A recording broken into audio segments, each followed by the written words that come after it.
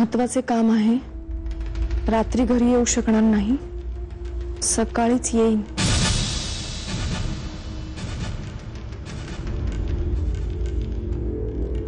अशी मेसेज तरी केलात. चला, कामाला लागायला हवं.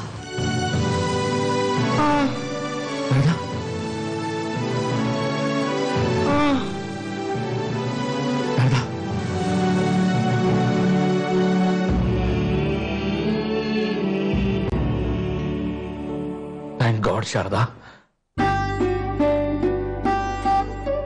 शुद्धीवर आलीस पण शारदा, तू का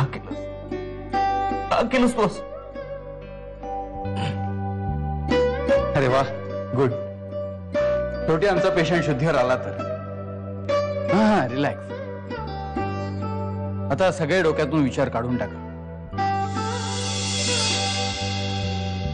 तुम्हाला जवळजवळ पुनर्जन्मच मिळाला आता.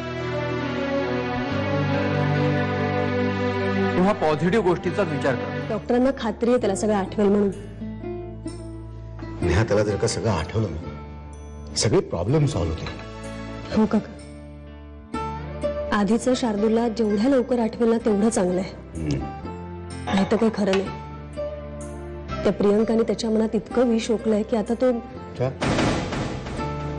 काय झालं ग? काका शार्दूल आता बाबांच्या विलच्या अगेन्स्ट कोर्टात केस फाईल करतोय ना?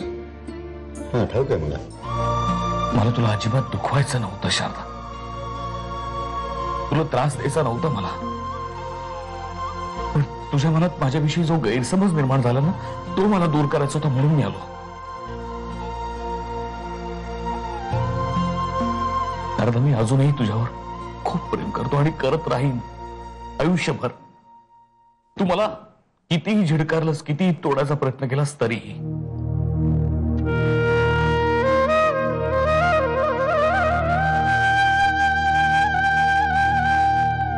मला मान्य मी मी गुन्हेगार आहे तुझा.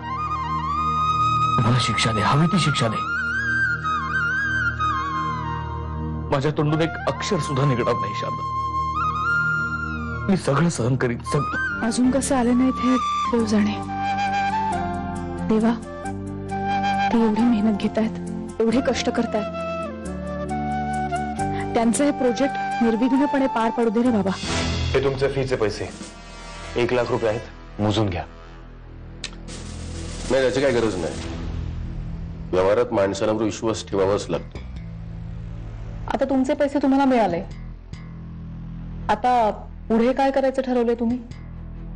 सगळ्यात आधी मी राजाराम पांढरेंना एक सणसणीत नोटीस पाठवणार आहे. जी बघून ते खरंच पांढरे पाडणार आहेत.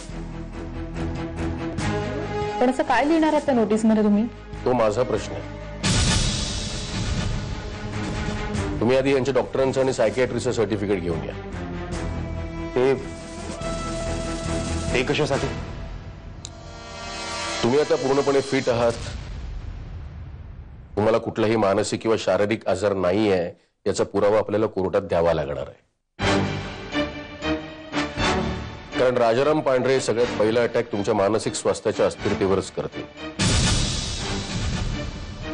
तेव्हा डॉक्टरांचं सर्टिफिकेट हे त्या अटॅकवरचं आपलं उत्तर असणार आहे. तेच मला इथे घेऊन आले.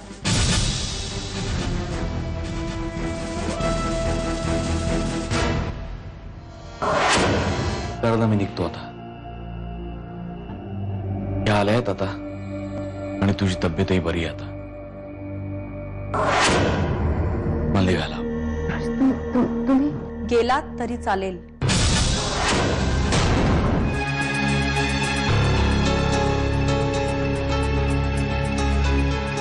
घरात काय वस्तू आहेत काय नाहीये त्याचा अंदाज घ्या। हा? ज्या वस्तू नसतील त्याची एक लिस्ट करा. आणि माझ्याकडून पैसे घेऊन त्या वस्तू लवकरात लवकर बाजारातून घेऊन या.